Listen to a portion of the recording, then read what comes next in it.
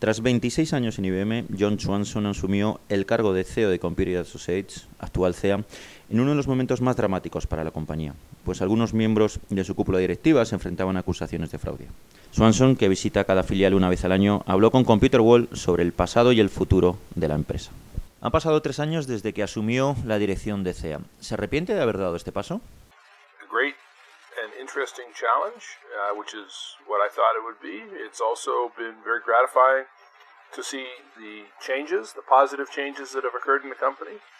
Know, over the course of the last three and a half, almost four years, we've changed almost every part of the business the customer facing part, the development part, the internal systems part, and uh, I've had seven very strong quarters of business results. Um, you know, it's all, all of these things have been positive. It took a long time to get some things sorted out, but we've gotten everything everything back in kind of good shape, and now we're working on optimizing. Ha trabajado 26 años en IBM. ¿Qué aspectos de IBM incorporaría a CA? There are, IBM does many things well, but IBM's a much bigger, much more um, integrated company. Um, and so I, I, don't try and take anything necessarily from IBM other than good ideas. Um, but we've tried to take good ideas from wherever we can find them. Uh, CA had a lot of very good things going on, and we tried to build upon those things. Um, obviously, there were things that I had learned at 26 years at IBM.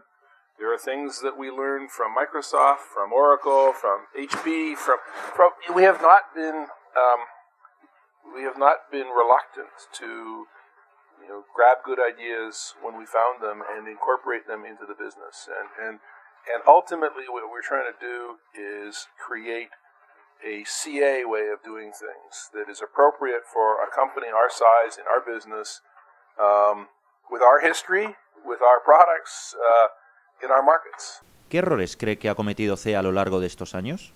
CA was too broad in the sense that it's it spanned too much of the marketplace to be ever known for being good in anything.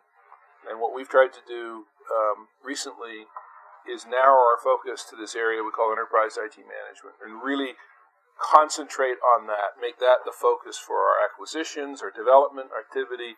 We train all our people in this. And so try not to be all things to all people. Try and be really a very focused company. Um, that's the main difference, I would say, from old CA to new CA. ¿Está afectando la crisis al gasto en tecnología? You know, I think it has to, but I also think it's too early to say what part of tech spending it's going to impact specifically. I'm sure it will impact things that are viewed as discretionary.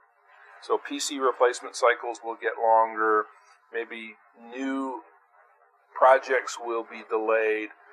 But you know, if you think about what happens in these kinds of times, people still want to improve their productivity. Uh-huh. People still want to manage the risk in their business. So I don't think that businesses will say they want to be less productive or more risky than they were in the past. So I don't think they're going to want less IT. Varios analistas han expresado su preocupación de que CA basa demasiado sus ingresos en mainframe. ¿Son los mainframes un mercado decreciente? It's more than half of our business, um, and it's growing.